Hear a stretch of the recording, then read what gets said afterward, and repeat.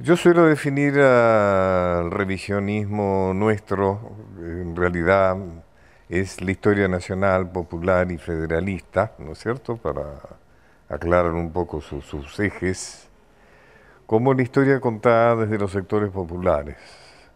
contrariamente a la historia oficial, que es la historia contada desde los sectores dominantes. O sea, la historia oficial original nace con Mitre y con Vicente Fidel López, que expresan el proyecto eh, porteñista, oligárquico, extranjerizante, antipopular,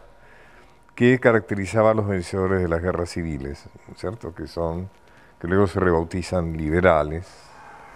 y que luego de la batalla de Pavón quedan dueños del país y eh, ponen en marcha el proyecto de organización nacional. Y para eso escriben una historia inteligentemente, sabiendo que la historia de alguna manera debe sostener, explicar, eh, también confundir, ¿no es cierto?, engañar, etcétera, para colaborar con este proyecto. El revisionismo nace originariamente en la idea justamente de denunciar que esta historia es arbitraria y que es una historia escrita por motivos políticos, ideológicos, y, em, digamos, eh, propone una mirada distinta. Ahí están nuestros antecesores, ¿no es cierto? Eh,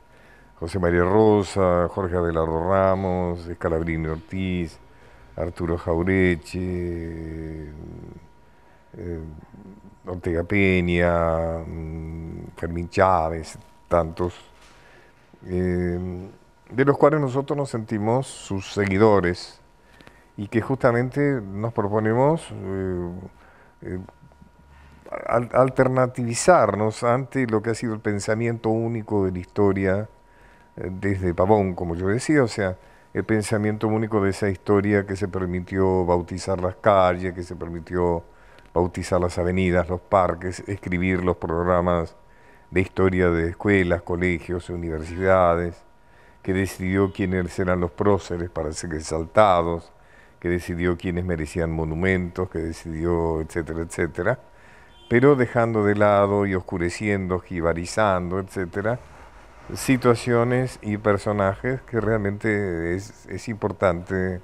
reivindicar y que todos los cuales tienen un eje común, que son en general aquellas personas y aquellas circunstancias que enaltecieron la causa de los humildes.